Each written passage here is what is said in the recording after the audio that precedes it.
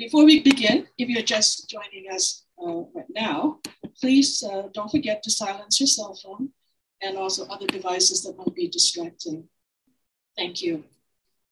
We did begin uh, the program with a land acknowledgement, but I do want to reiterate that UC Berkeley sits on the territory of Huichin, the ancestral and unceded land of the Chochenyo uh, Ohlone.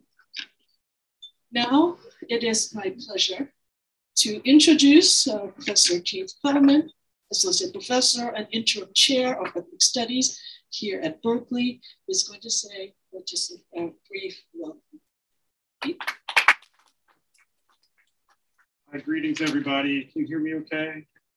Wait, is it a little warm? Have you noticed? yes, it's um, it's, it's all of the energy in the room is um, raising the temperature, which is so great. Um, greetings and, and welcome. What a wonderful and really joyous occasion to, um, to come together. Um, it's a real uh, delight to share this, this time and, and space together to celebrate our dear colleague, Michael Omi, um, together here in person in, in particular. It's a real, real joy and, and uh, a privilege that I don't know that um, we thought about how wonderful it would be to, to, to be together, uh, to, um, to think and, and, and celebrate. So thank you all for joining this afternoon. I'll pass the mic back to Professor Um in just a moment. Uh, but as interim chair of the Department of Ethnic Studies, I was asked to offer a very brief reflection um, on Michael the scholar and or Michael the colleague. Um, so to do so, uh, let me highlight one way I can sort of answer both of these prompts um, simultaneously as the scholar and the colleague come together. And so um, think of it maybe as a prism and we could shift from reflection to refraction. So in the 2014 edition of Racial Formation in the United States, um, Omi and Winant offer what they call a radical pragmatist politics of race. And it's a concept that I don't think appears in the 86 or 94 editions of the book. I'm glad you're, you're nodding. um, but the, the lineage for this idea comes through Du Bois, and John Dewey through C.L.R. James and Grace Lee Boggs. And a radical race pragmatism, in their view, joins self reflective action with situated creativity. The agential capacity, that is, to consider thoughtfully about what one does in the world and to rethink and reshape one's actions based on such reflections, and then also to experiment, to create, to envision, to imagine, to narrate, to sketch, to build and rebuild with a keen sense of the conditions in which one lives. Perhaps that's one way to think about the kind of shifting emphases that we can track across the various editions of the book Racial Formation that the editions themselves express a certain kind of radical race pragmatism, that the conditions for adequately addressing processes of racialization change, and that reflection, revision, and creative recasting are in fact necessary to address the changing nature of race in, in the United States and indeed in the world. And one thing I love about the third edition of this book is how open Michael and Howie are about their revisioning process. I think it's instructive for, for all of us in imagining what, what the practice of a radical pragmatist politics of race might look like. Now, I think radical race pragmatism is also a prism we might use to think about Michael's incredible work as a colleague on this campus. This has already been emphasized throughout the day. Michael builds and shapes and reshapes spaces to do critical work on race, always attentive to the context always attentive to possibility. From the Institute for the Study for Social Change to the Haas Institute for a Fair and Inclusive Society to the Asian American Research Center.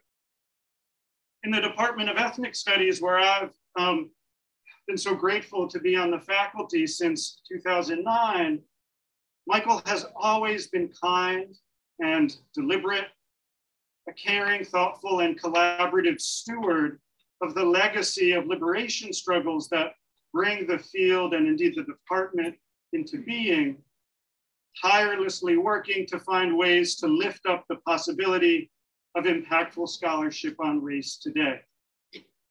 Michael's always brought a creative and reflective energy to our department, always ready to offer insight and experience with humility and a spirit of collaboration. Around our table in the Barbara Christian conference room, or recently in those strange black boxes of Zoom, Michael has modeled how to keep an even keel, how to see the long run, and his presence and engagement in the life of the department will be truly missed. Personally, it's not only been a true honor, but a real and honest pleasure to share space and ideas with you. And I look forward to continuing to learn from you in the years ahead. So with that, let me pass the mic back to my wonderful colleague, Professor Khatharya Um, who will be serving as the moderator for today's session.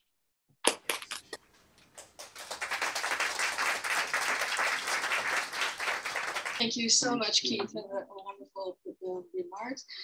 During Michael's 35 years here at Berkeley, it's very obvious that he has touched many, many, many lives. I mean, students love you, Michael. Colleagues love you. We all want to be Michael. so um, I know that as an ads faculty, uh, it has been an honor and a pleasure uh, to share space with you, as you have said, to be a colleague, and I've known you for many, many years now, um, and look forward to learning from you uh, for many, many more years.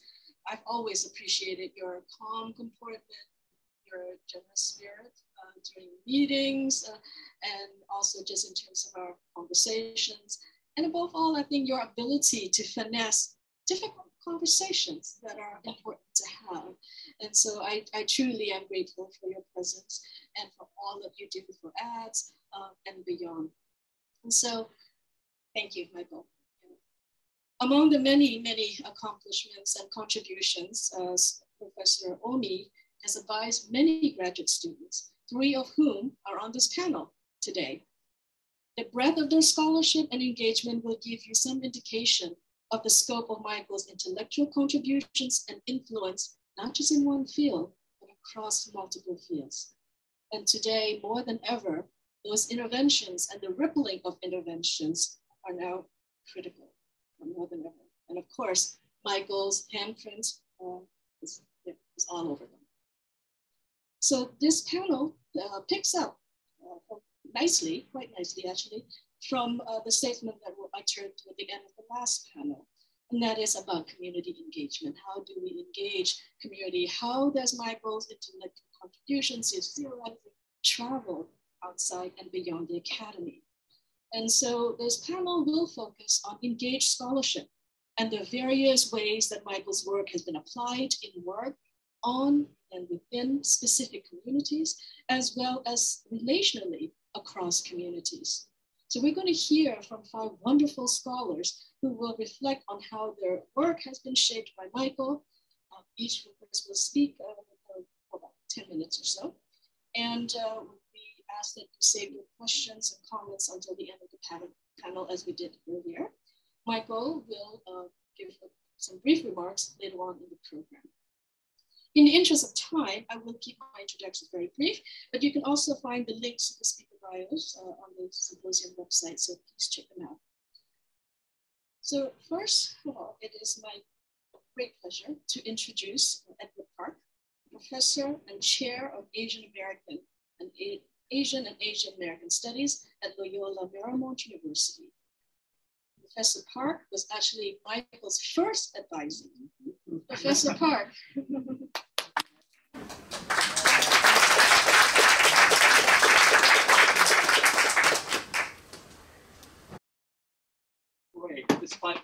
as an advisee, it's been a long while. And I get older, as I get older, I just uh, keep going off the script. And so, um, given the long relationship I had, I just wanted to share my thoughts in writing.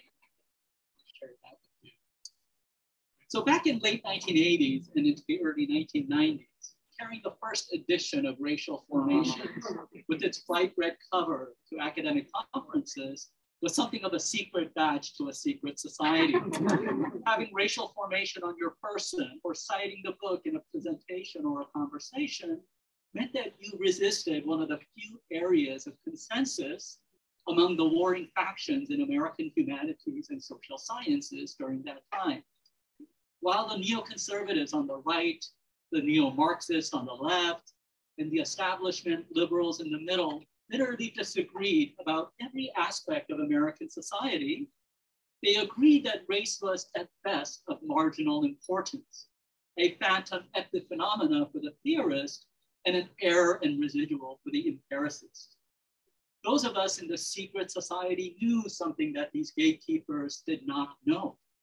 We knew that race was and is one of the fundamental organizing principles of American society and that the skirmishes of racial politics that Michael and Howie wrote about were merely a prelude to a multicultural reckoning that were about to come. Indeed, a book that read as a corrective to the conventional wisdom of American social sciences at the time of its publication quickly became a work of divination that provided the vocabulary and the framework to understand the most dramatic crisis and shock to the American social fabric and body politic. From the Los Angeles civil unrest of 1992 to the Black Lives Matter protest of 2020, and the election of Barack Obama in 2008 to the backlash of Donald Trump in 2016, racial formation has become the indispensable work that allows us to grasp the fundamental dynamics between state and society in our age of race and intersecting identities. In keeping with the theme of this panel, I would like to share with you how racial formations has impacted three communities that I have been part of. First, the community that racial formation most directly impacted has been the community of academics and scholars. This was especially true for graduate students in traditional disciplines, as mentioned by so many folks, not too long ago, who desperately wanted to work specifically on race and racial formations. Formations. Before Racial Formations, the book found its traction, people who worked on race as an emergent force in traditional departments had difficult time finding advisors and committee members. Indeed, these senior faculty members were the very ones who produced a scholarship that reductively subsumed race under categories of ethnicity, class, and nation. To assert that it was race that mattered most in the organization of the high-tech industry in Silicon Valley or in the immigrant-led labor movement in Los Angeles was to invite criticism for pursuing a speculative project that lacked the intellectual rigor, theoretical sophistication, and a robust bibliography.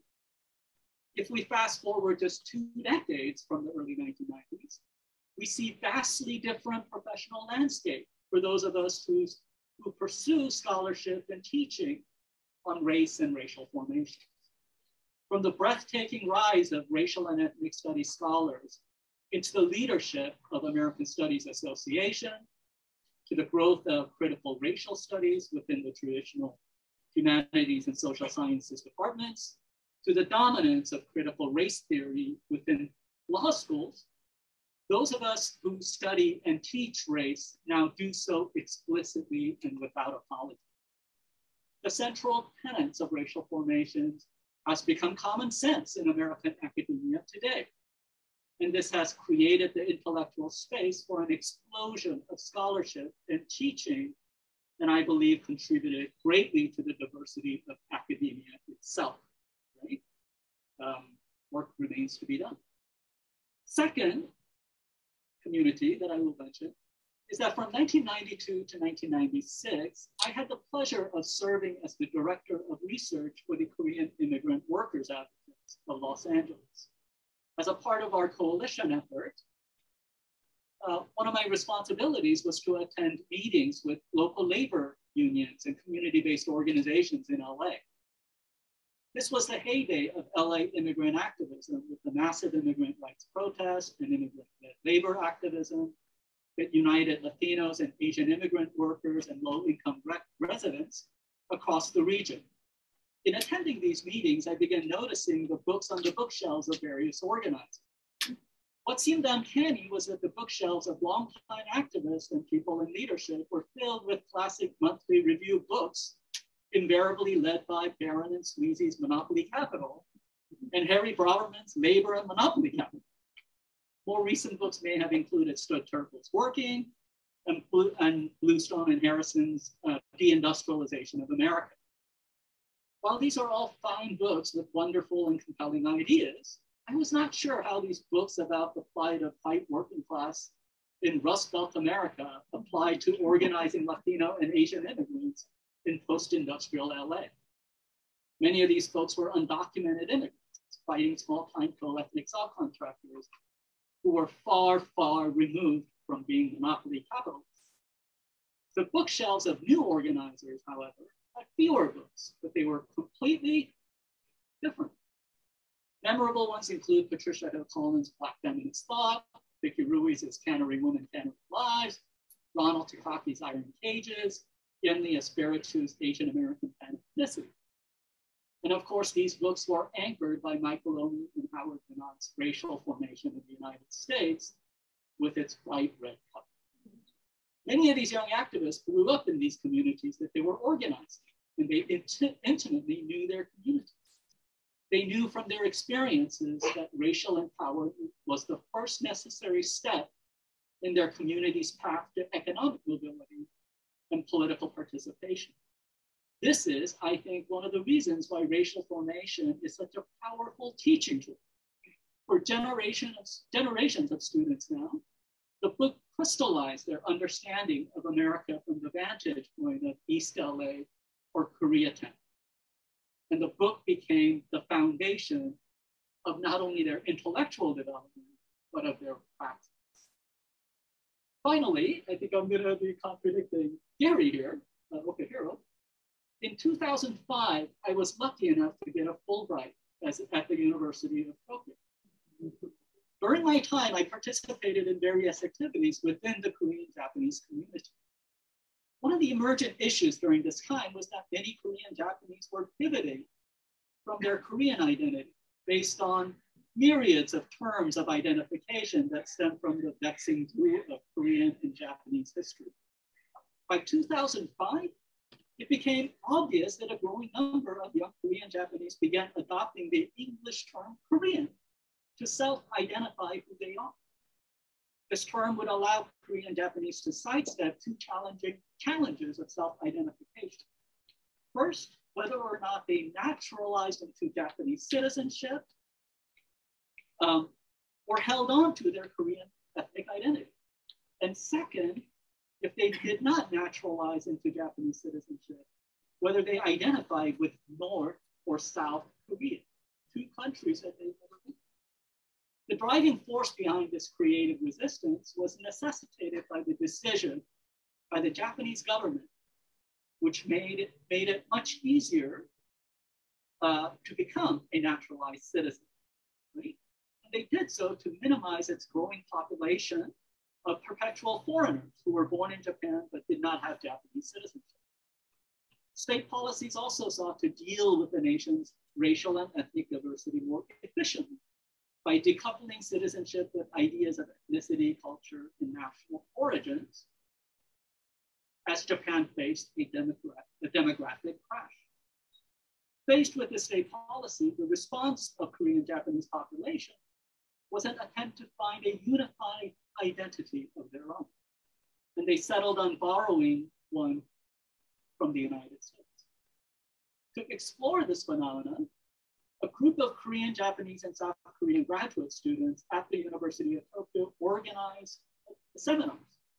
And they invited me, the new American Fulbright professor in the American Studies program, to give their first seminar over a carefully chosen reading. Imagine my surprise when I opened up the package. Part two of racial formation in the United States. Chapter four, racial formation. Chapter five, the racial state. Thank you so much.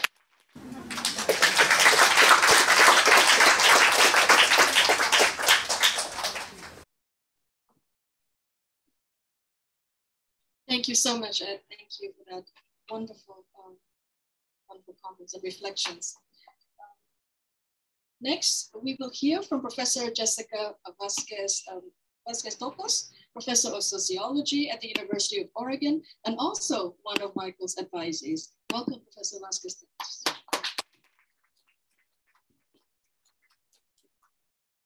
Thank you all. Uh, thank you for, to the institutes and to uh, congratulations, Michael.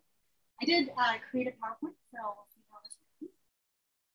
Uh, so Professor Michael Omi is an academic touchstone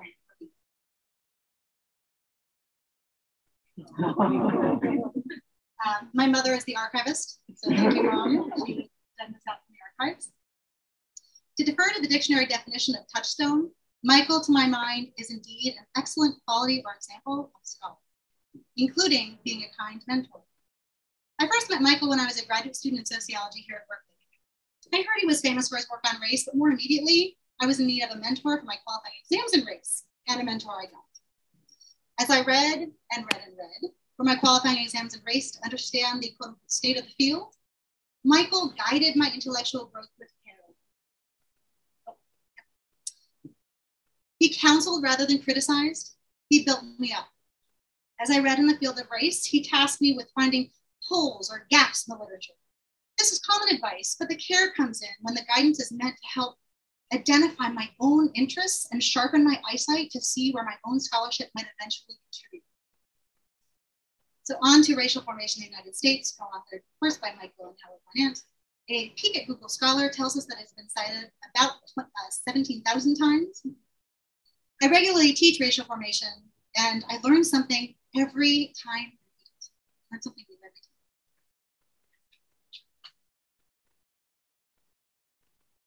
So I appreciate much about racial formation. I appreciate the race is not reducible to class argument, racial projects, role of the state and of collective action, the positioning of race as a master category, but without excluding the existence of additional master categories, leaving the door open for intersectionality, the notion that multiple axes of domination operate simultaneously. My engagement with racial formation led to a recent publication on what Priscilla Yamin and I call the, the racialization of privacy. And I'd like to thank Michael publicly now for providing constructive feedback on it earlier this paper. Where did the inspiration for this title or this article come from? I did as Michael taught me in my qualifying exams. Identify a curiosity that you have an extension that you would like to see. For me, that was family. I wanted to see more family in racial formation. Priscilla and I used insights from racial formation to advance the, our argument that access to family privacy is apportioned by race. Note the subtitle here, uh, racial formation as a family affair. Our notion of the racialization of privacy refers to the phenomenon that family privacy including the freedom to create a family uninhibited by law, pressure, and custom, is delimited by race. We conduct an ideological genealogy as we examine three cases, Native American boarding school system, eugenic laws and practices, and contemporary deportation. We contend that state-sponsored curtailments of family privacy are racial projects that shape the racial state. So families are central to racial formation and the institutionalization of white supremacy. I am mindful that this panel has the keyword relationality. We better see privilege by relationally discerning oppression. The legal foundations for the racialization of privacy show disparity. Oops. So we know that Roe v. Wade in 1973 secured a woman's right to privacy, prohibiting government intrusion into her decisions about reproduction. In the Roe v. Wade uh, verdict, Justice Harry Blackmun argued that past cases on marriage, contraception, and child, childbearing created a quote unquote zone of privacy. Thus, in Roe v. Wade, women won the legal right to choose abortion based on a notion of privacy free from government interference. Just five years after Roe was decided, in stark contrast, 10 Mexican origin women lost a class action suit against uh, physicians at the University of Southern California, Los Angeles County Medical Center. In the 1978 case, Madrigal versus Quilligan, the judge ruled in favor of the doctors accused of coercively sterilizing the Mexican origin women. The plaintiffs claimed that state, federal officials, and, admi- and administrators and doctors at the LA County Medical Center violated their constitutional right to procreate. The women used the decision in Roe v. Wade to argue that they possessed the right to privacy relative to childbearing and that their forced sterilizations were unlawful breaches of authority. Given that the Madrigal decision followed the Roe decision by five years, the juxtaposition between court rulings carving out reproductive rights for white women resources while denying those rights to poor women of color is striking. The reproductive justice premise holds that, women, that people deserve the right to abortion and the right to parent. The racialization of privacy lens shows that family formation freedom or lack thereof is an outgrowth of racial projects that ultimately constitute nation making vis a vis families. I'd offer that it would be interesting to take a racialization of privacy lens uh, to the US Supreme Court's recent decision to let stand Texas's ban on abortions after six weeks of pregnancy. Also in September, and highlighting global relationality, Mexico's 14 Supreme Court justices ruled it unconstitutional to punish abortion as a crime. Back to the racialization of privacy article. We lead off each empirical section with a quotation from Omi Winant that we pursue throughout analysis. I'll draw your attention to a couple uh, phrases. With the passage of the Indian Removal Act in 1830, President Jackson enforced the physical removal of Native Americans under the guns and bayonets of the US Army. Signaling war and settler colonialism, the War Department ordered the opening of Indian boarding schools, which were to function under military authority. Families are central to the deconstruction, or sorry, families are central to the destruction of Native nations and the construction of the US simultaneously. Native American children were removed from their families' culture and language and placed in boarding schools so they might mirror white family models. Some natives resisted and reclaimed their children. In response, in 1881, Congress authorized the Indian Bureau to deny treaty guaranteed benefits of rations and clothing to parents if children failed to attend.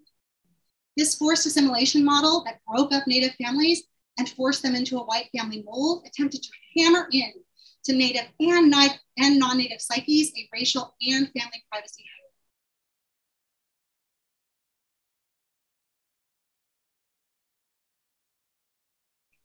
Popular culture of the early 1900s was steeped in eugenic ideology. One example of the visible exertion of racial state power that extolled whiteness are fitter family contests held at state fairs. These contests judge contestants' white lineage through genealogical investigation and put their whiteness or their fitness on display for reward. Fitter family contests as eugenic propaganda helped entrench white supremacy and the myth of racial purity, as well as illustrate how family formation was the center of the reproduction of whiteness. The first contest was held at a state fair in Topeka, Kansas in 1920. By the end of the decade, Fitter Family contests were features of many state fairs that were, and were so popular, they were given front page coverage in local newspapers. Awarding a quote unquote governor's trophy highlights the role of the state in literally prizing one race and families within that race over others. Centering racialized heterosexuality, prizes were also awarded for the best baby and young couples commencing eugenic marriages. Racial politics are plainly on display in everyday life at the state fair.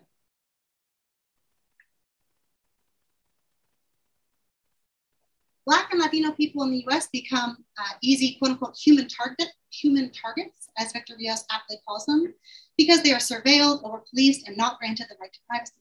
Through deportation, the state bars certain, certain groups from creating or maintaining families.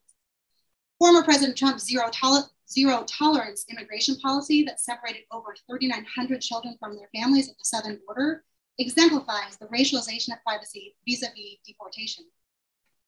In zero tolerance, the state authorized the fracturing of Central American migrant families, read would be American families if granted asylum. In 2015, Donald Trump stated his plans to deport all undocumented immigrants from the US en masse, saying, quote, we have to keep families together, but they have to go. Representative Steve King of Iowa, who reintroduced the Birthright Citizenship Act to end birthright citizenship for children born on US soil, to documented immigrants declared, we can't restore our civilization with somebody else's babies. Underpinned by eugenic thought, the phrase somebody else's babies centers both citizenship and civilization in white families and demonizes non-white fertility as a threat. By the concept racialization of privacy, we can identify how the state seeks to reproduce institutionalized white supremacy via families and the effects this has on families, fruitfully extending Omi and Winant's work into families. We argue that families are the linchpin in state-sponsored racial projects that construct the nation, and that the racialization of privacy as a form of inequality is a defining characteristic of the color line. As a qualitative sociologist, I'm used to mining, I'm used to mining data, um, interview narratives in my case. And yet I go back to racial formation to mine theory and launch from it to better understand the gravity and nuance of race and its imbrication in ideology, practice, nation, nation state building, and family. Michael's work offers a robust scaffolding that invites extensions like the trunk of a tree that supports branches, offshoots, leaves, and blooms. Whether Michael knows it or not, I am considering him a lifelong mentor. I appreciate all he has taught me through his scholarship and mentorship, and I hope I do him some honor as I strive to do. Thank you so much, Jessica, for presentation. I'm delighted to welcome next uh, uh, Professor Linda Trinh uh, Professor of Asian American Studies at UC Irvine. Professor Vo was mentored by Michael, uh, Professor Omi, doing her postdoctoral fellowship at Berkeley. Professor Vo.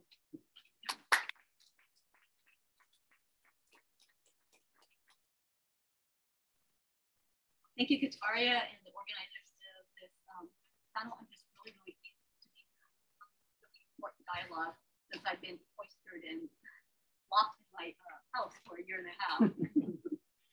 um, without a doubt, Michael Omi's work has shaped multiple fields, and this landmark book, Racial Formation with Howard Winant, has been cited countless times and has been taught in numerous courses. In 1986, when the book was published, Asian American Studies was already established, but it was evolving and morphing. Their work has been instrumental for social scientists studying Asian Americans using, using varying research methods, especially community-based scholarship. Omi and Winant, Winant cautioned that existing theoretical models could be constructive, but limiting in the study of race relations. From the Marxist perspective that overemphasized class to the Chicago School that, that promoted a linear assimilation paradigm.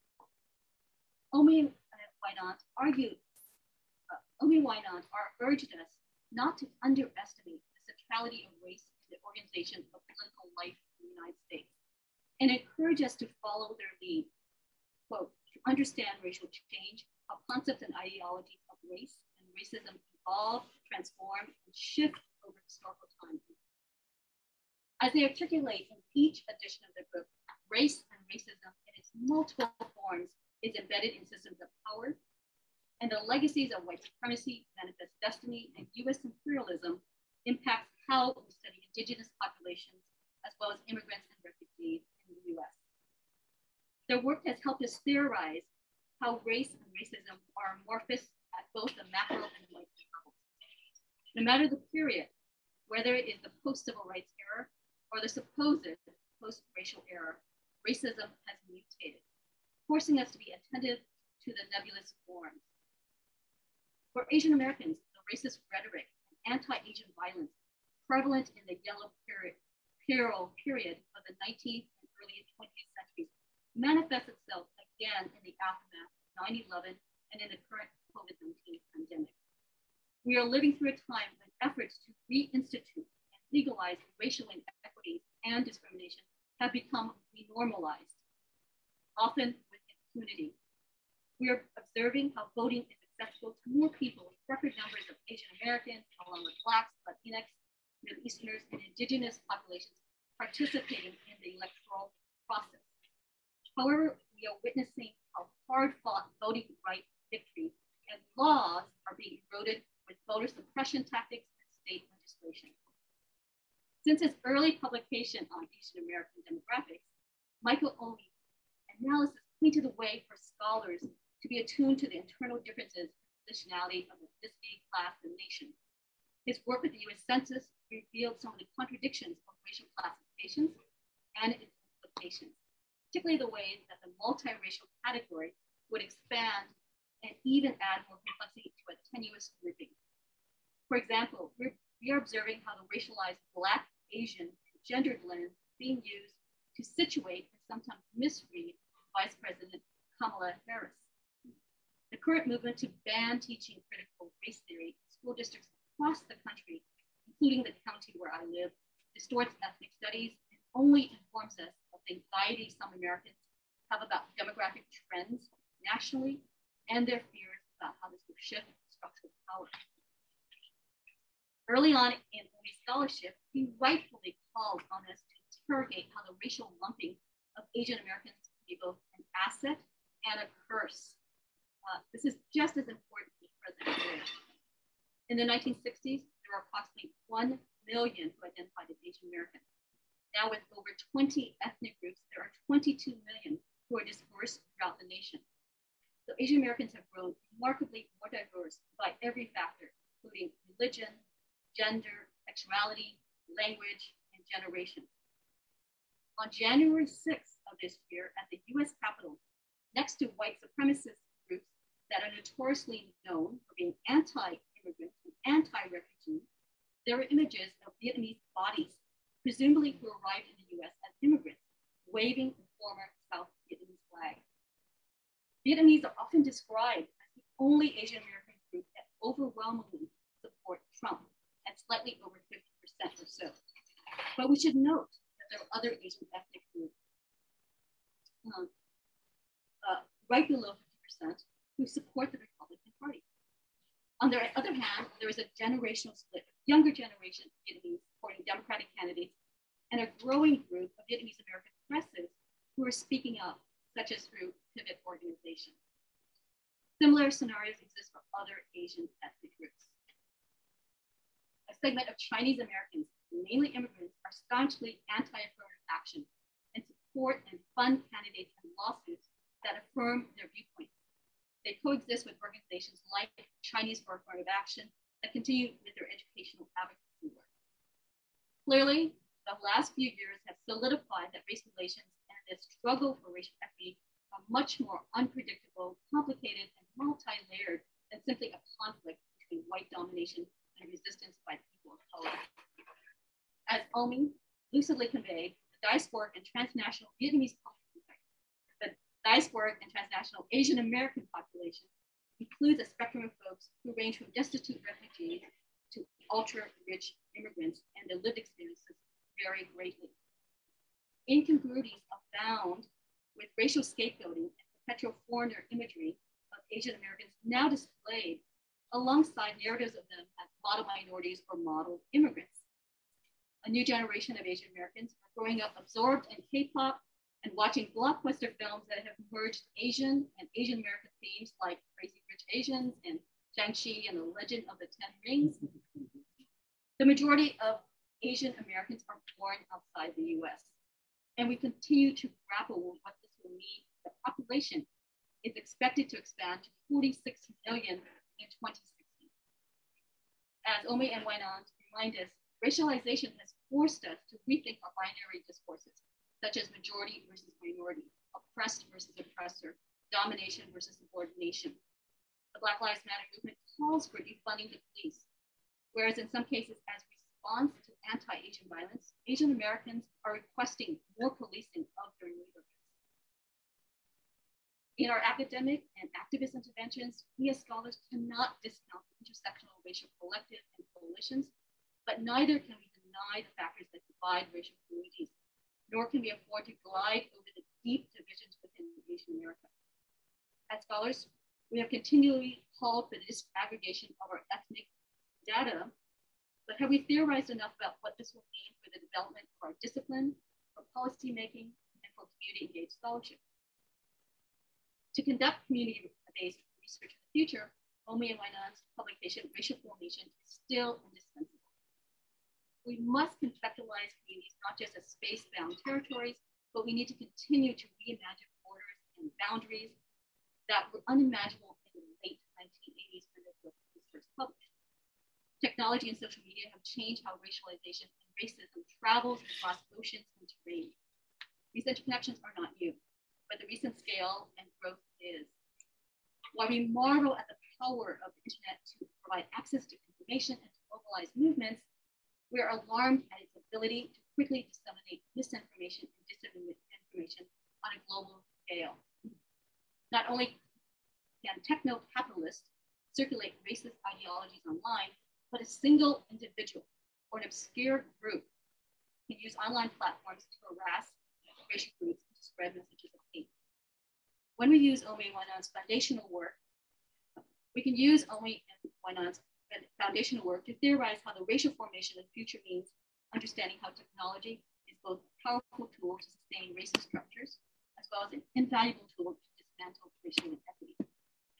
In closing, I want to thank Michael um, for being my mentor when I was a student in the mid-1990s. He gave me the support I needed at the time when I was unsure that I wanted to stay in the academy. 25 years later, I'm here at retirement. so for your retirement, I'm giving you something that you don't need, which is another mug.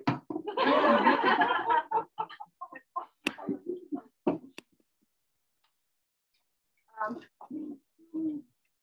but it does have the images of your three edition of your book. on it, it has a picture of you and Howie. and then I did a descriptor for the letters of your of your first and last name. So for Michael, I thought of mentor, intellectual collaborator, humanitarian, advocate, equalizer, and liberator. For Michael, I came up with OMI, um, originator, maverick, and my personal favorite, influencer. so congratulations, Michael, on your well-deserved retirement. Thank you for all you've done for us.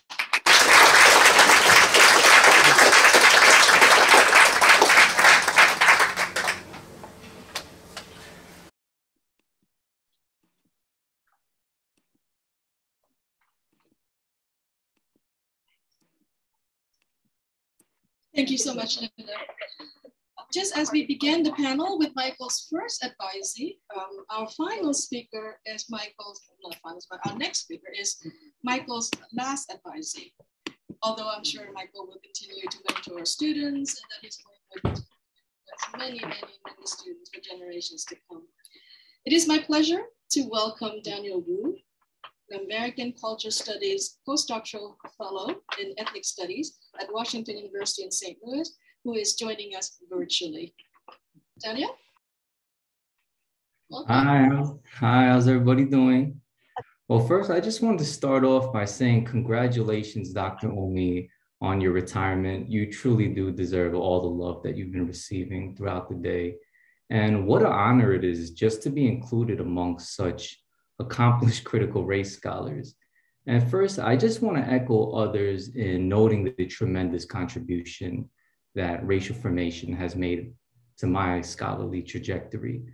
Even now, I don't think I can write an article or even a course description for that matter without utilizing some of the key terms that yourself and Dr. Howard Winant has introduced to us. And before I go on to celebrate our beloved Dr. Michael Omi, I just want to share a bit of background about the work that I do to provide some context on his influence. So, my research broadly explores how Asian Americans navigate hip hop as a critical site of Afro Asian community formation. And in line with other relational race scholars, my research aims to advance a relational consciousness of the racial order and socio-political relationships that challenge white supremacy, especially in the realms of popular culture as well as quotidian common grounds. And rather than centering a framework of hip hop as a site of Afro Asian political solidarity, my work more deliberately approaches it as one of polycultural community through an analysis of identities, cultural politics, and localized spaces collaboratively generated by young Asian and African Americans, as well as other people of color. And much of this extends from my own experiences as a founding member of a predominantly Afro Latino rap collective based in New York City. And of course, my approach is also significantly developed from my reflections on prevailing narratives of Asian Americans in hip hop that focus on the distinctions between cultural appropriation and appreciation. So for me, it was important that I provide an alternative window by centering the narratives of select Asian American rappers whose cultural practices are both informed by and produce further opportunities for Afro-Asian relationships and collaborations. But let me take a step back from my research and show some love for the man of the hour, Dr. Michael Omi. And on a basic level, my relational race praxis, like others, is significantly informed by how the concept of racial formation opened up questions of process, right? And also broadened my understanding of the multiple racial projects operating at the same time, as well as across time. And in regards to Dr. Omi's mentorship, his work with myself and others here, as folks have mentioned, really shows his range as a scholar and advisor, right? He was able to guide my work on a topic that isn't necessarily his specialization or really familiar to him for that matter, though he did know who DJ Kool Herc was, so that was. um, but nevertheless, he was able to speak to the substance of my research by helping me articulate the polycultural dynamics that I aim to trace through a lens of regional racial formation, as well as by underscoring how my notions of community therein uniquely presented a alternative racial common sense that critically challenged racial hegemony. And clearly he has been far too gracious about my work. And relatedly, he always reminded me to really value my own situated knowledge in shaping the scholarly contributions that I sought to make. And he made me feel like an expert when I felt far from it, right? But let me briefly return to the content of my research to more fully illustrate his influence. So my book manuscript is tentatively titled Asian Americans in the Cipher, Regional Racial Formation, Hip Hop Aesthetics, and Scenes of Afro-Asian Collaboration. And the existing version of this project explores the racial experiences, aesthetics, and cultural politics of independent Asian American rappers from New York City, Northern Virginia, and North Carolina.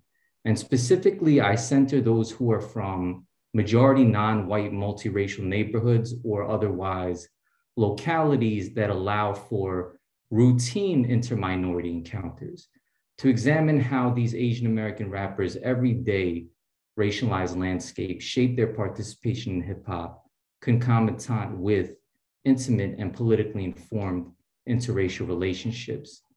And I trace the mutual constitution of race, place, and hip hop and the Asian American rappers' life histories, music and cultural production, and scenes of performance, which are often majority non white and Afro Asian multiracial spaces.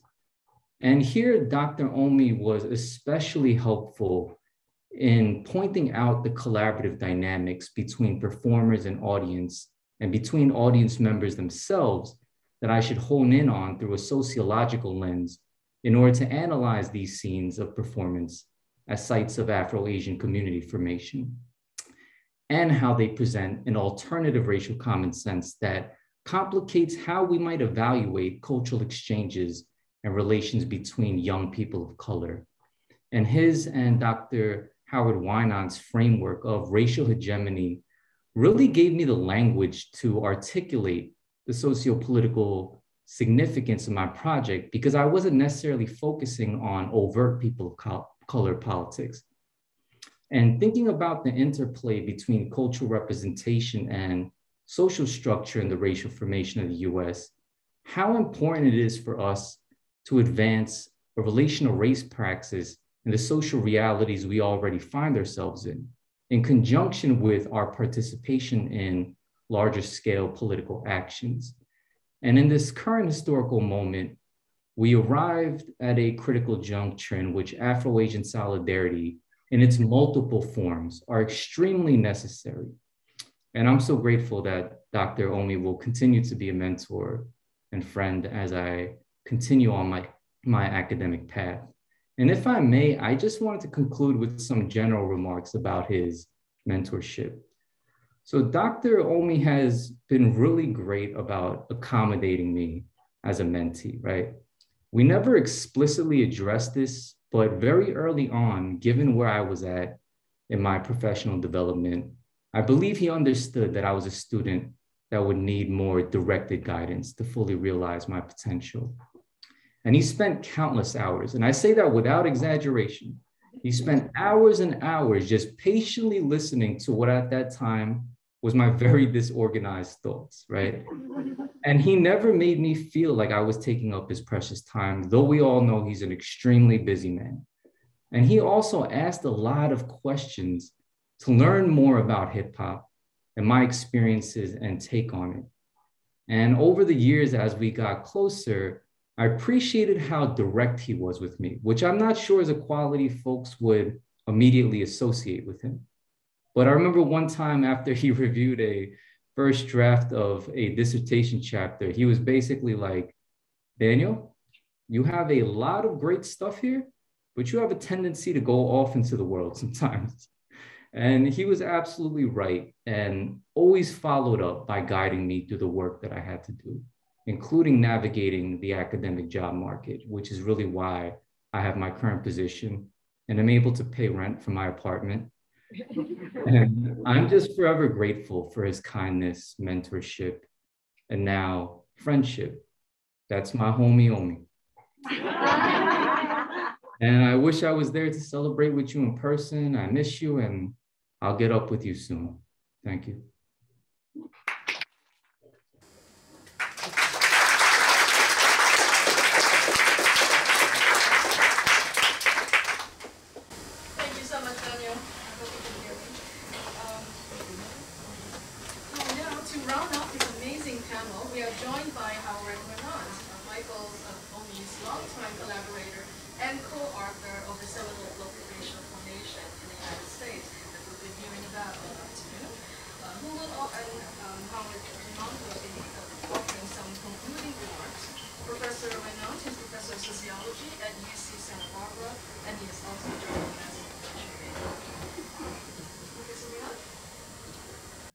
Fantastic. Well, I'm very sorry that I can't be with you here eh, eh, there in person. It's for medical reasons. But I'm extremely grateful to take part in this celebration of Michael Omi, of his work and his career at UC Berkeley. I can now see the audience for the first time, so that's fantastic. And also, I know so many of you, so my greetings to everyone. Um, I think I'll start with some remarks on our friendship and our collaboration, and then I'll say some brief things about racial formation um, in the United States, and uh, hopefully be pretty brief. Um, you know, picture from 1986. Can You see that okay? It's a photo that was uh, included in the first edition of uh, Racial Formation as the author. Photo taken by Steven Okazaki, the film director in San Francisco in 1986. In 1986, Michael and I already had known each other for more than 10 years. So um, we have been friends and collaborators for 45 years, people.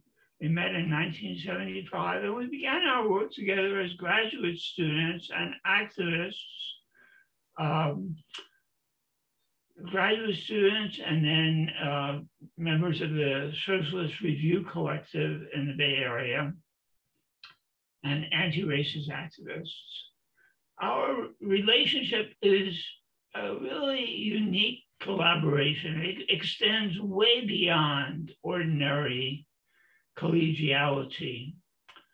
Um, without question, Michael's contributions to the field of ethnic studies, sociology, um, to racial theory, to UC Berkeley, and to the Asian American and Japanese American communities are really quite endless, quite unique. But what he's given to me is really in another category. It's beyond precious. Um, for almost all the time since 1975, maybe a few years, starting a few years after we first met. And I can remember the, the actual meeting. I re- remember being introduced to Michael on the campus of UC Santa Cruz.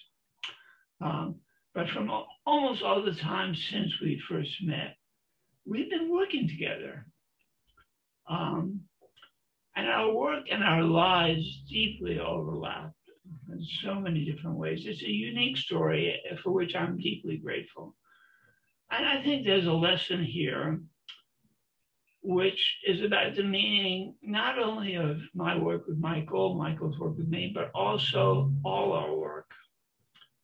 We are all, not just Michael and me, but all of us, dependent on each other and collaborators with each other, often in ways we don't know, we don't consciously appreciate.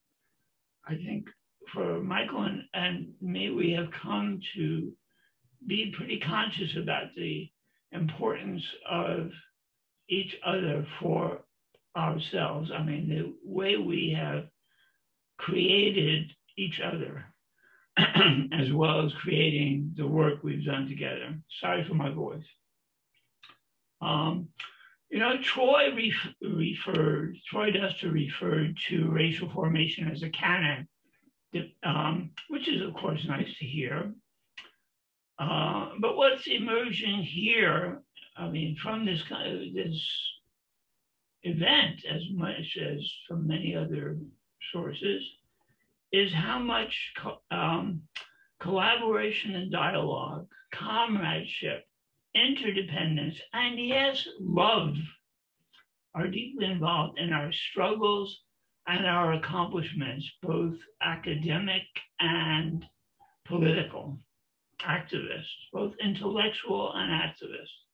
I think that is true. That's the true and deeper meaning of the term canon, at least as it applies to racial formation. So thank you, Michael, for just being there for me and being here with me over all these decades in so many different places and in so many different projects, racial projects indeed. Okay, some quick notes on racial formation theory. I think it's clear and it's perhaps obvious that racial formation is a dynamic process. Both race and racism are unstable, as we say so often. They are decentered social relationships constantly being made and remade in practice. The meaning of race, the social structure of race, and every aspect of race, uh, all these things are fundamentally political.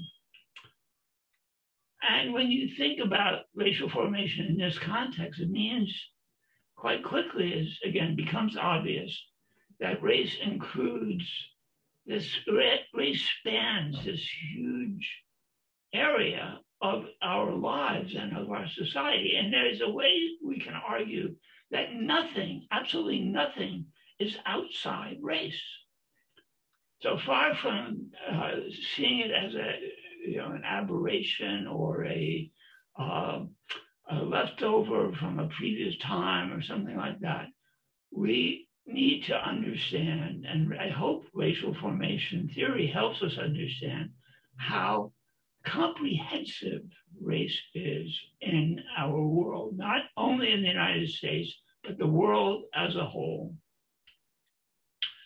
So race, runs the, gamut. It spans everything from coercion and despotism and indeed genocide and um, exile and all that. You know, racial dictatorship, we've called it in some of our work, all the way to liberation, uh, real democracy, abolition democracy, to use Du, du Bois's phrase, um, emancipation. Um, so democratic self-determination and racial despotism, that's one way of thinking of that spectrum. Um, but race also operates at the micro level. So that's a macro level perspective, but the micro level is also central. Indeed, race, racial formation links the micro and macro levels of social relationships, so, of socialized society, comprehensively. Racial formation theory, I would like to suggest, allows us to think of race as an ongoing set of social and political relationships, both fundamental to modern society, and if you follow the, my late and great colleague Cedric Robinson, fundamental to pre-modern society, and also unstable, always subject to political struggle. So to understand the racial state, to, local, to locate the centrality of race in capitalism, and we now talk again, thank you, Cedric, we now talk a lot about racial capitalism, that's important, but also to understand the centrality of race in capitalism, the centrality of race in colonialism and anti-colonialism, we need to center racial formation and the political struggles that it involves in the broadest and deepest sense. We need to have a, a, an ongoing racial formation perspective, but also to understand racial identity, othering and belonging, as John Powell would say, and so many other dimensions of identity, the politics of the personal, the politicization of the social, we need to have a racial formation perspective. It would be extremely difficult to grasp intersectionality, to grasp critical race theory without drawing on racial formation. So in many ways, um, racial formation theory remains important to us. And yet racial formation theory is not was not new. It wasn't really something we invented. Maybe we gave a name to it, but it was and remains a synthesis, an interpretation of work done by many people long before we came on the scene. Pioneers, the pioneers who came before us, above all W.E.B. Du Bois, but even also even earlier pioneers and in the 20th century, people like Alain Locke, Anna Julia Cooper, Audre Lorde, St. Clair Drake, Stuart Hall, Paul Gilroy, Ron Takaki, numerous others. These are the folks who shaped us, who, who not only influenced us, but who developed the concepts that we synthesized. We drew deeply on Troy Duster's work on Herbert Blumer and symbolic interaction, on Gramsci and his followers, uh, Chantal Mouffe and Ernesto Laclau, on Frankfurt School scholars, and on many others. So, you know, it, it's nice to be uh, the, the authors of a canon, but really there's something about our work that we should look at um, more critically and more modestly, I think. Um, we did not invent racial formation. Um, no question that we put concepts together. We were an influence on critical race theory, for example. Uh, I think Michael even blurbed the big red book that uh, Kim Crenshaw et al. edited in uh, what, 1995? I'm not sure what the date of publication was. Um, what we were offering, what we offer is a race theory that I, that as I say, allows us to understand race as a dynamic, ongoing outcome of political struggle. And as Gary Okihiro pointed out before, racial formation offers a method for understanding race and challenging racism. Our concept of racial project is an example of this. So in this way, um, it's important to recognize that racial formation theory um, it, it itself is very dynamic, as race and racism are very dynamic. It's not finished, it's not complete, it's not even as coherent as it should be. Michael pointed out uh, earlier in this uh, in this uh, event, Michael pointed out that we really are not clear on the meaning of anti-racism, how we understand opposing racism, what that means, how that how that works, what what are the different projects that anti-racism involves. This is just an example, among many others, of ways that racial formation theory is being developed, not by us, but by you and by the many people who have made use, and in some ways misuse, I guess, of our work.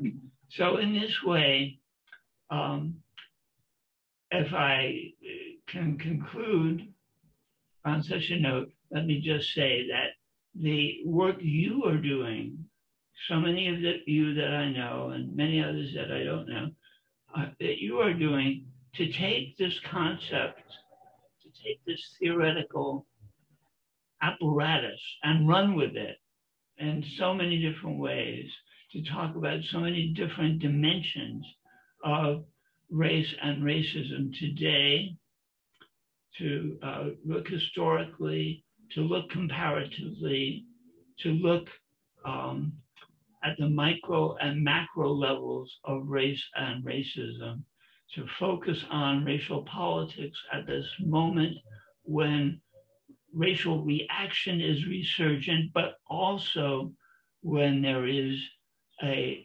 broader and deeper anti racist movement than has existed in this country and in the world for decades. That is our task today. And I'm very grateful for you uh, being here and for your interest and your commitment to this project. Thank you very much.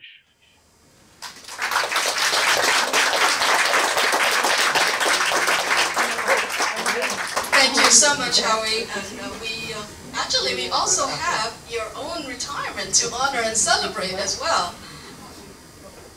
Yeah, there you go. So, you know, you started on this 35-year-long journey with, with Michael Omi, and now you're actually retiring together. So, again, please, a round of applause for Howie.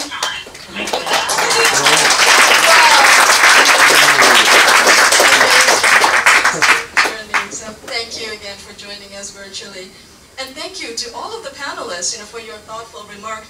We have some time for questions and discussion, so may I invite the panelists to back again you know, fixing our, our gaze on the contemporary landscape and building on what uh, Daniel was a um, point about the importance of relationality, and also, of course, um, Harvey's, Howie's uh, comment about the, uh, the, the liberatory potential of racial formation. Uh, I was wondering if you can reflect on what are sort of the possibilities offered by racial formation, both as a theory, but also as a method and as a political project, right, uh, for solidarity politics. What, the, what, what, are you seeing in the communities? All of you are deeply engaged in the communities. So what, what are you actually seeing in terms of this translation uh, in the community of racial formation? Anyone want to start?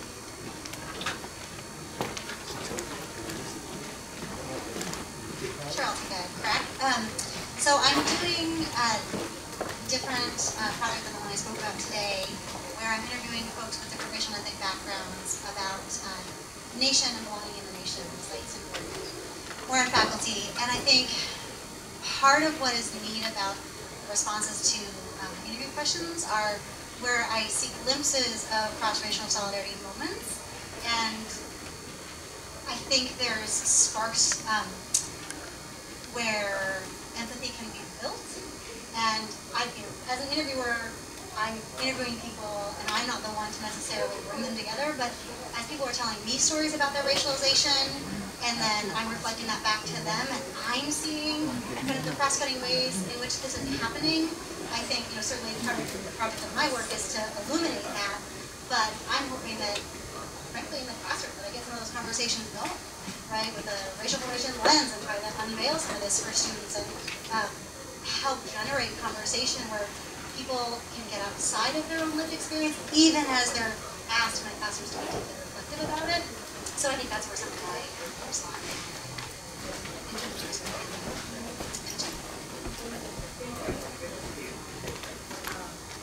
Maybe I'll just focus on the present moment, I mentioned that in my uh, 10 minutes.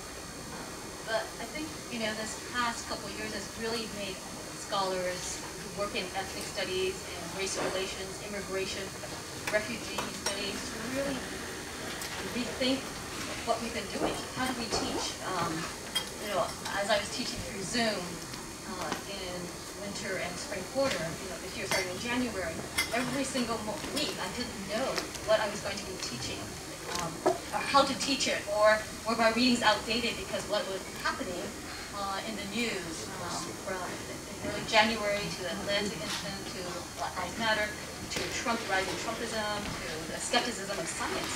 I think that some of us were unprepared for the moment we're facing right now, and we're going to have to go back and really rethink what have we been studying, and is it going to be able to deal with theoretically, uh, empirically, what we knew in the past, is it going to be applicable to the future, and how we think about coalition.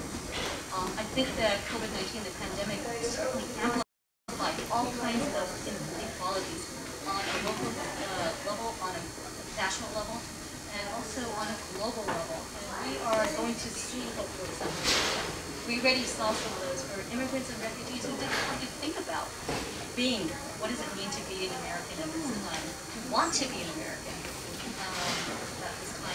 What does that mean for how we identify people who want to hide, who want to be, what we say, uh, white affiliate, right, within the Asian American population. So, um, but now it's been a wake-up call for many to rethink the kind of emphasis from healthcare, workplace, etc. And so we're, as scholars, we're times. We're following as fast as we can to try to address whether it's about coalition or conflict. It's really making us rethink, you know, how we used to.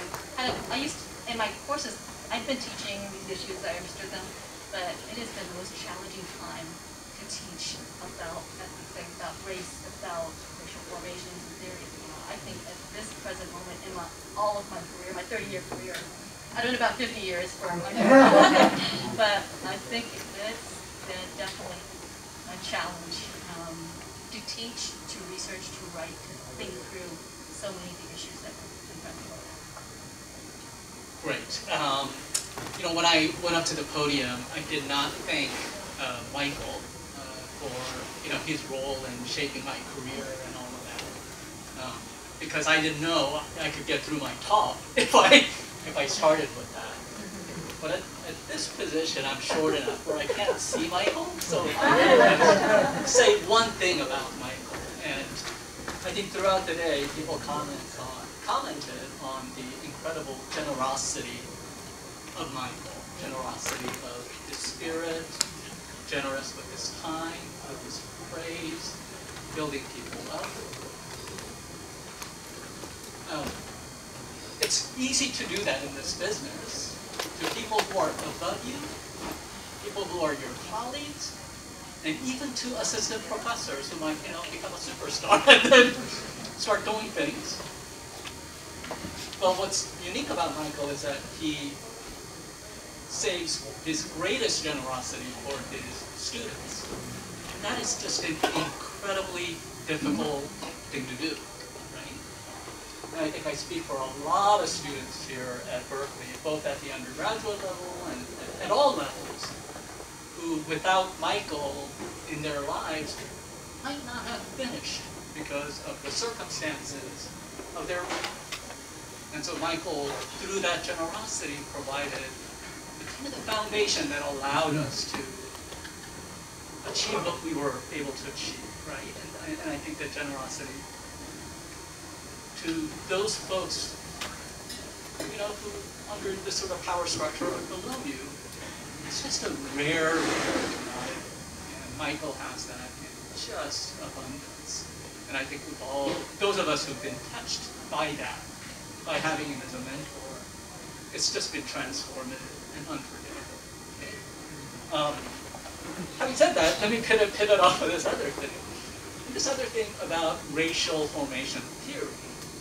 I think, you know, what Gary said uh, this morning about how racial formation theory doesn't travel well, right? Because you go to places like Japan, and ordinary Japanese folks have a tough time understanding, grasping what a racial state is and how they're racialized as Japanese in Japan.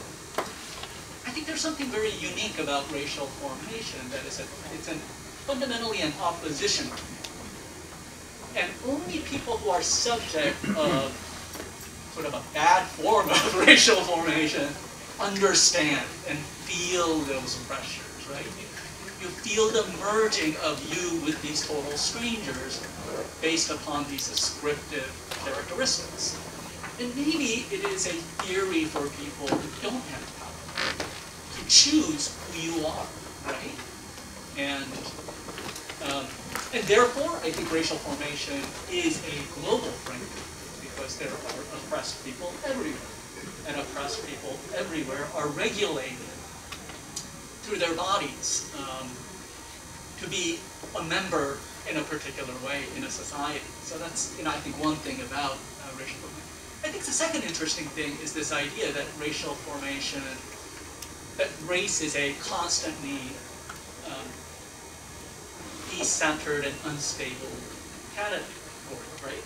Uh, and I think we really, really need to take that serious, right? And within the Asian American community, I think there is this sort of interesting thing that people who, Asians who lived in America a little bit longer, feel the compulsion to instruct new arriving Asians to instruct them on what being Asian American is, or what being Korean American is, what being Chinese American is. Um, and like in politics, I think it is tempting to sort of tell them like, oh no, you should be democratic. There's this like, history about, you know, internment, all this racial injustice and all of that. And we might even preach it to multimillionaire Koreans, right, who just arrived to live in their great big mansion in South Orange County. Um, as somebody who do that all the time in the community, sometimes when I drive home, I'm just thinking like, what entitles me to define what Asian American politics is, right? Um, and I just don't have an answer for that. But I think the, the seriousness of the decenteredness of racial formation in a weird way, is that we need to take ownership of the process is constantly politics, right? And I wonder if there are any like real moral ground that we stand on, right?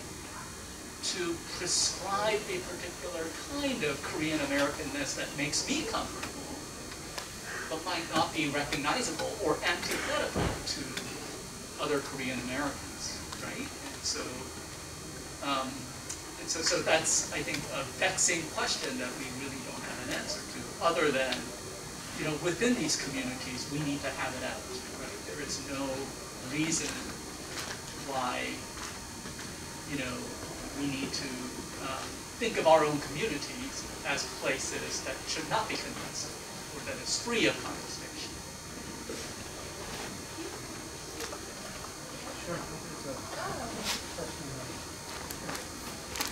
see a couple of hands in the. Yeah. Okay, uh, thank you very much. Oh, there's no mic on. Yeah. Is it on? Can you hear? Yeah, it's on. Okay.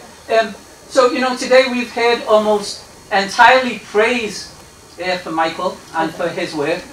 Uh, there are a lot of people who have praised Michael and his work. There are others who have applauded him. There are others who have critiqued him.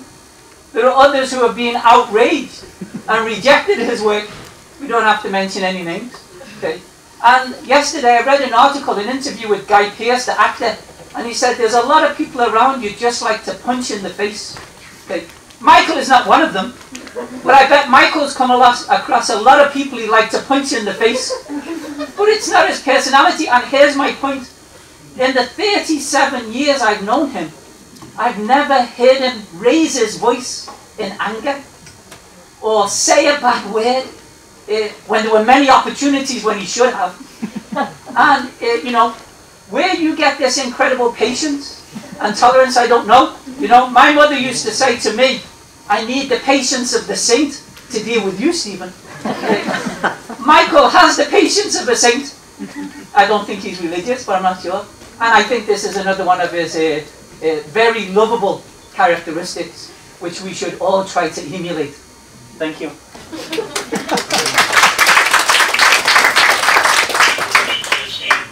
Um, I was an undergrad student um, with Michael Omi, who was my mentor then, who was my mentor as a grad student. And I um, don't know whether to blame him or to thank him for getting me my professorship at UC Davis. But it was him, and we told, I told this story many times. My first Asian American Studies course was, he was up there with his black Armani suit, his Hamilton watch, and I just looked at him and I said, I want to be just like you when I grow up. and that's all I was, you know, so when I bought my vintage Armani suit, I was like, yes, I'm going to show this off. But, um, but I actually, I wanted to say um, about your scholarship and your work and the impact. So for me, the most profound thing about racial formation is this concept that was, you know, extremely radical, especially when it came about, which is this idea of power constructing race um, for the purpose of, of, extracting resources and dividing those who, you know, would, um, you know, unjustly, right? So my question moving forward for the next generation of scholars and even yourself, because it seems like you and Professor Winant are still at it and still having those conversations for decades to come. So my question is, knowing darn well that race was formed in these ways, to divide us in these ways as we're trying to come together in these times.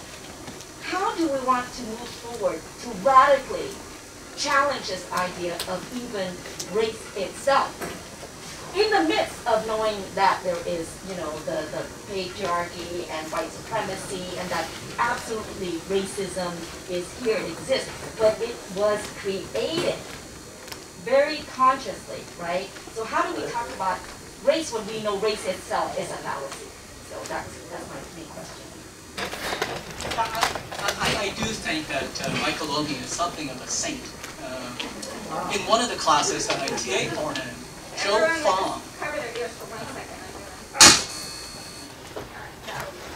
the, the very, very famous Joe Fong of the uh, Joe Fong Boys uh, came and gave a wonderful talk in the Asian American 145 class, the very first thing he says uh, is that uh, Michael Omi is the Asian American Smokey Robinson. and uh, Michael Omi, you know, just laughed it off, and I thought, oh, uh, nothing could get Michael upset. Edward's telling little stories here, uh, and taking a moment, stealing a moment here and there in the Q&A just to say thank you to Michael. I think one of the things that we remember is Michael, uh, in my case as well, was that he reached out um, to, uh, but he was reached out to offer counseling. Someone said counseling. Michael was a counselor for us in many ways as we went through graduate school. He ha had a demeanor that allowed us to think that we were part of an academy I'm speaking from um, myself, who was born in a village in Vietnam during the Vietnam War. And that I made it to Berkeley as a postdoc. And the fact that he was just patient, I think he even mentioned that, that he just said, welcome, what do you want to do? It wasn't like the professors I had in graduate school, right? Who had these certain criteria that had to go to school.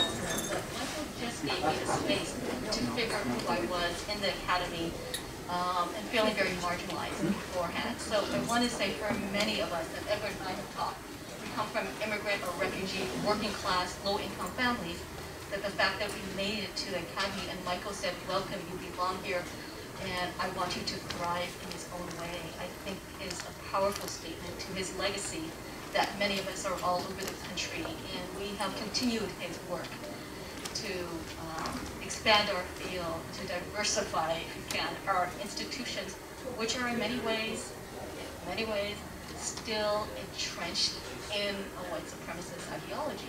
So we continue, um, because of his um, uh, encouragement, because of his support, even after I was done uh, with a postdoc and like so many of us here have done with our degrees, or uh, that he continued to encourage us push us to promote our work, like Nadia said.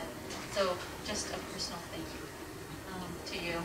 Uh, my suggestion to answer Keelan's question is that um, Michael and Howie should write a fourth edition. because as we all know this, and I'm going to answer very quickly that we grapple with the terms, you know, how you start thinking, okay, race is not right, I use racialization, that's not correct, but we don't even have words or discourse or language or terminology to explain what it is we're doing. And I know there's a new word BIPOC and all of these new terminologies for groupings, but do they really convey complexity?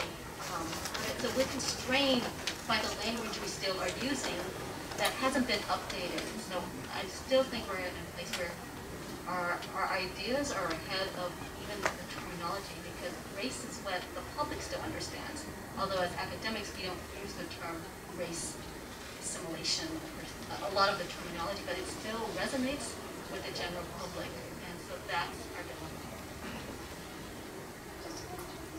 Um, just quickly, just yes and three cheers to the ripple effect of Michael Omi. Absolutely um, amazing. And just the thought I had in trying to connect the question um, with, I think it was Howie's um, invitation, if not challenge, to think about what anti-racist projects are. Um, I think there's a that's a wonderful set of doors to open.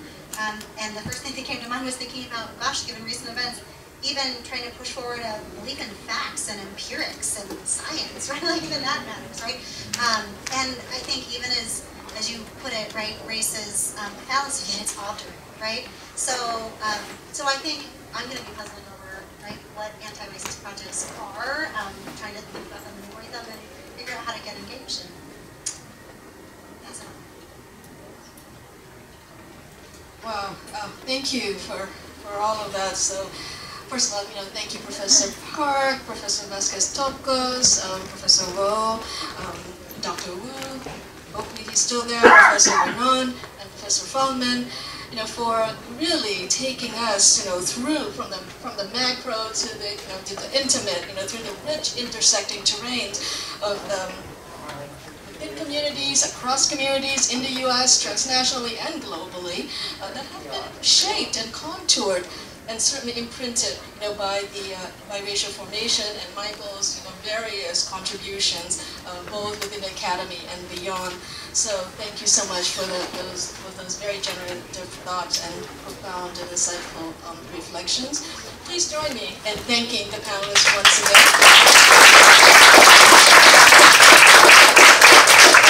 So with that, we conclude this panel, and uh, now comes the party.